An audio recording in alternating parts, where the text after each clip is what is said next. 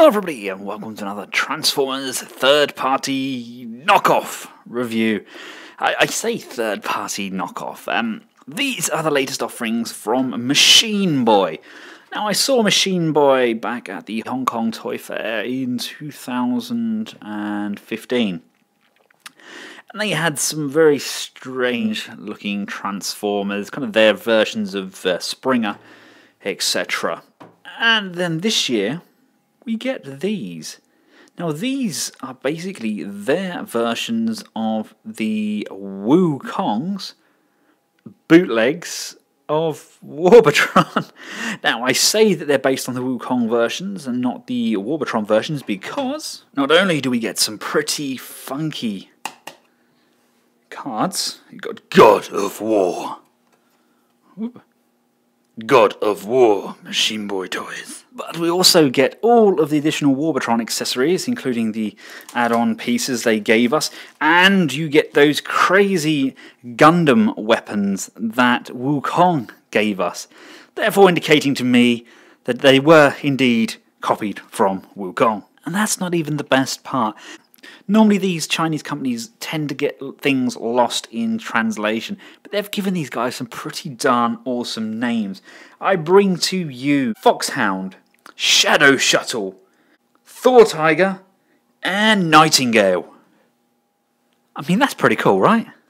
Now, the question on everybody's lips are are these worth the money? Because these are a fraction of the cost of the Wukong, which are in turn a fraction of the cost of the Warbotron. Uh, they feel bloody good. They're not without their faults. If you look, you've got some markings there on the tail. It doesn't quite peg together properly. These two do peg, but not amazingly. It doesn't push all the way down. How they've copied the mold, I think they've made some of these pegs just too big. If you look at the blades here, they all push in, but this one just won't quite go in. I mean, I could probably tidy that up by just shaving it around a little bit. It's definitely not a deal breaker for me. It feels very, very solid. The plastic used is nigh on spot on. It's pretty much identical to Warbotron and Wukong. Uh, the paint applications are okay. I kind of like them. You do have this nice uh, windscreen on the front here. Very, very nice, clean. Props to Warbotron. Always give props where they're due. Warbotron done a fantastic job designing these. There's a lot of heft to these. Loving the colours. Uh, this is pretty much going to be my Bruticus. You see what I mean? It doesn't quite collapse fully on those legs. I may have to take them apart and just have a little looky on the inside there to see what's going on. Uh, final finishing again isn't as up to scratch as Warbotron did. But then again, Wukong kind of rushed both of their flyers out as well, didn't they? These do look fantastic. I'm genuinely impressed by the build quality as well. I was expecting something a lot worse. Uh, I saw them on Sir Toys. I thought, bugger it, I'm going to give it a go. And I'm very glad I did. Swindle, you look amazing. These really do scream kind of Generation 2 to me. I mean, for this price, if you want to paint your own, these are really good fodder. You could have a very decent Shattered Glass, G2, anything. You know, you could have a very good repaint of uh, Bruticus. Just very, very impressed by the build quality. Again, if you look here, I do have a little bit of stress around my holes. My peg was too big for the hole. Um, uh, it does require a bit of a force to get it in there. Uh, again, I could probably get away with just shaving a fraction off these pegs. It's not essential, because yeah, it does go in, does go out. you know. But this is just nitpicking. At the end of the day, you're paying approximately the same price for this as you are a Hasbro Deluxe, and this honestly knocks the pants off of Hasbro. Here they are in their robot mode. They kind of look like some sort of 80s Avengers team, don't they, with all those different variations in colour. Ah, oh, I absolutely love their blast off. I mean, just look at that neon green. It's gorgeous. And look at Vortex.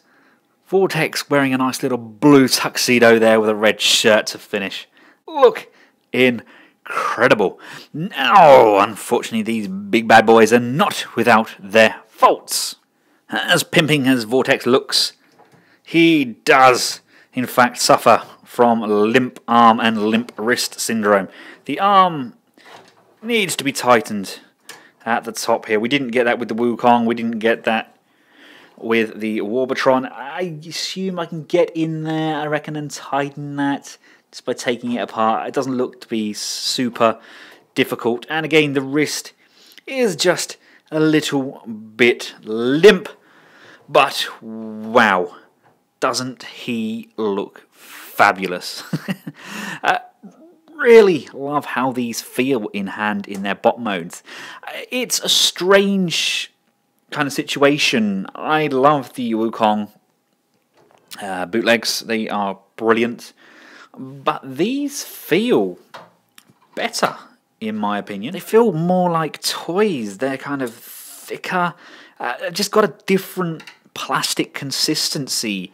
Uh, I'd be more happy with my son to play with these. I think, again, they're targeted at a younger audience, so the plastic consistencies have been changed.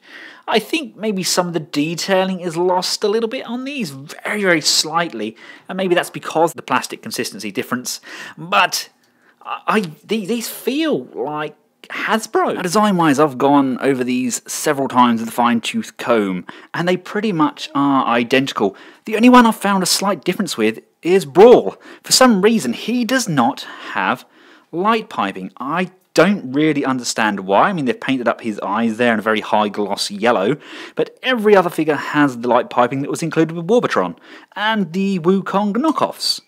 Not really sure what they were doing with Brawl, but hey, ho, let's go. As previously mentioned, they're not without flaws. We do have some little niblets on there, kind of the sprue marks. Uh, there's, there's no grease or oil to the plastic. It doesn't smell. Some of the figures you get, as stupid as it sounds, they really do smell somewhat bad.